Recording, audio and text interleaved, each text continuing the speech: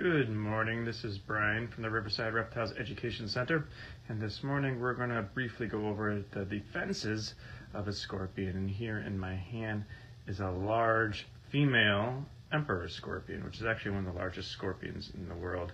Um, they are found throughout the tropical regions of Africa. Um, so this morning we're going to go over their defenses, how they protect themselves from predators.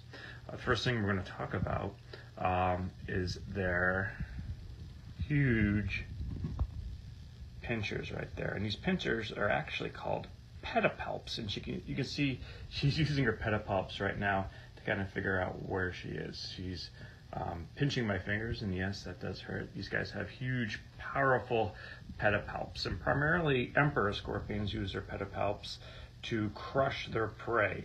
Um, they're very powerful. They'll grab a small insect, crush it, and they'll bring it to their head. It's kind of hard to see.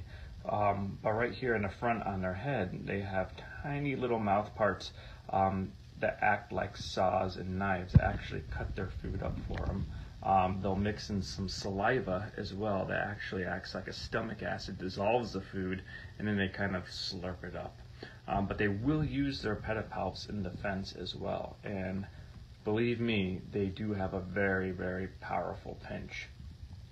Now, the second defense on the scorpion is pretty much the one everyone knows about, and that is this the stinger, also known as the telson. And the telson is that little bulb right there at the end of the tail.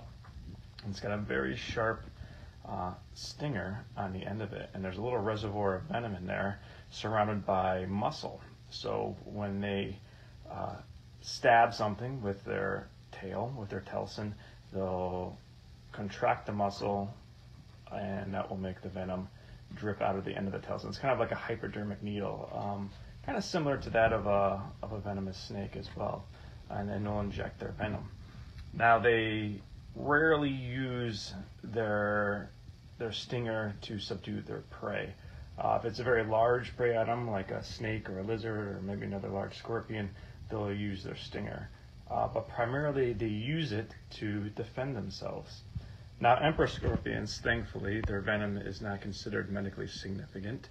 Um, if she were to sting me right now, it would hurt. Um, it kind of feels like a bee sting. I've been stung by emperor scorpions before.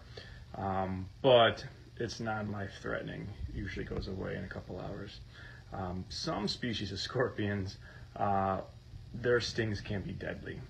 There's a species of scorpion, actually has one of my favorite names you can find in the Mideast. Um, it's called the Israeli death stalker. There's also an Israeli yellow scorpion. Um, there's fairly there's a couple scorpions in North Africa as well that are deadly, and you would never want to free handle one of those. But this is the emperor scorpion, as you can see, quite placid in nature. All right, so those are the defenses of the scorpion. Big, powerful pedipalps, pinch, pinch, nice huge stinger. All right, we'll put her back.